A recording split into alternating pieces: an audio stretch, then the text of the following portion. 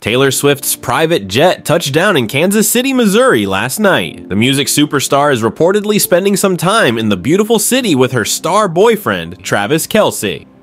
Taylor just returned from her Eras tour in Warsaw, Poland after a sold out three night run. She now has a week to rest before heading to Vienna, while Travis continues his training camp with the Chiefs. Fans are buzzing about the possibility of Taylor showing up at the Chiefs' training camp to cheer on her boyfriend, Travis Kelce, the NFL Pro Bowler, three time Super Bowl champion, and future Hall of Famer. This summer has truly been filled with love for Taylor and Travis. Their romance has crossed international borders over the past few months, even making a surprise appearance on the Eras Tour stage for a concert in June while Travis was on a break from the football season. Since Chiefs' training camp began on July 21st, Travis has been noticeably absent from the crowd at Taylor's record-breaking tour, dedicating most of his time to early morning workouts at Missouri Western State University in St. Joseph, Missouri. Coordinating their busy schedules will be a challenge challenge for the superstar couple in the coming months. While Travis is back on the field, Taylor, the cruel summer singer, is powering through concerts across Europe. She just wrapped up a seven night, three city tour in Germany, ending with a final show in Munich on July 28th. There's little time for rest as she performs three consecutive nights in Warsaw starting August 1st, before heading to Vienna and then back to London in the following weeks. Travis is expected to report to practice, preparing for the Chiefs' game against the Jacksonville Jaguars on August 10th to kick off the preseason. With only two days off in his schedule, he could theoretically make a quick trip to see Taylor in Austria, but the jet lag might be tough to manage. When Taylor starts her five night run in London on August 15th, Travis has no official workouts, but he'll be gearing up for preseason games against the Detroit Lions on August 17th and the Chicago Bears on August 22nd. The couple's best bet for some quality time together might be after Taylor wraps up the European leg of her tour with her final show in London on August 20th and before she resumes her North American tour in October. Maybe Taylor could even show up for the preseason game against the Bears in August or the Chiefs season opener against the Baltimore Ravens on September 5th. She could be their lucky charm. After all, the last time the Chiefs faced the Ravens, Taylor was in the stands cheering, and Kansas City clinched a spot in the 2024 Super Bowl, sealing the victory with a kiss on the field that was heard around the world.